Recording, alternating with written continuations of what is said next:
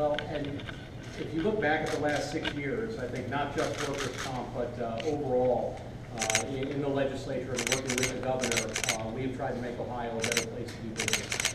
And I'm sure the governor will, uh, will go into more detail about some of these things, but I think today is just the latest step uh, in the transformation of our state. Uh, So we've gone from 9.3% unemployment roughly in January 2011 to around 5% today. We've added 400,000 new jobs, and, and that hasn't happened by accident. That's happened because uh, we've tried to make government run more efficiently, more effectively, uh, and, and get it out of the way of business growth. So we've cut taxes, uh, we've cut net income taxes by around $5 billion over that span.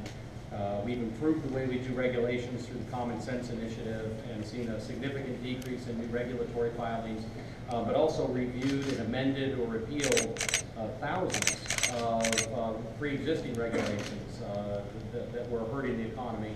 Uh, And and today, um, we announce at least the third major rebate for the workers' comp system. And you heard the numbers earlier, it's 1.1 uh, billion dollars in rebates overall for private sector employees. That's about a 66% cut, um, functioning, uh, frankly, uh, largely the same way a business tax cut would. Um, But there's also uh, significant uh, benefits for local governments and for school districts as well.